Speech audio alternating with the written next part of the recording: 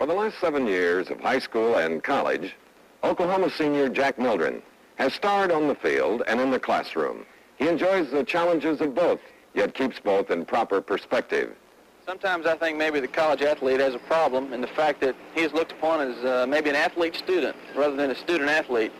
By this I mean he's totally aware, 100% involved in his football surroundings with a 0% involvement in just the school surroundings. And of course the athlete needs to be able to draw medium in the fact that he's is concerned, is uh, greatly concerned with his football, with his football team, you know, and because this is one reason that he is, to, is at college, but uh, really the main reason that an athlete gets a chance to go to college is to be like everyone else and to, to get a college degree. And we're hopeful at Oklahoma that most of our guys are trying to reach out, become a part of the student body and becoming student athletes rather than athlete students.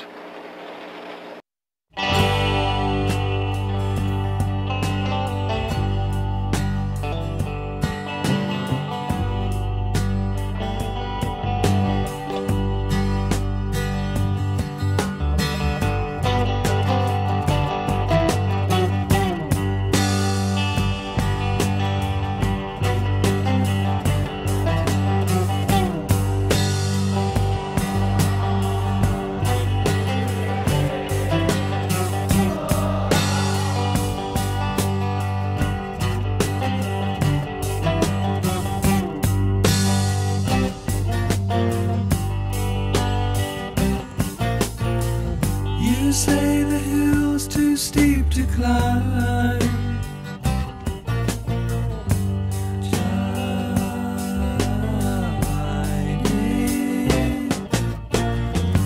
say you'd like to see me try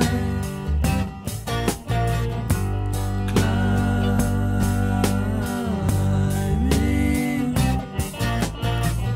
You pick the place and I'll choose the time.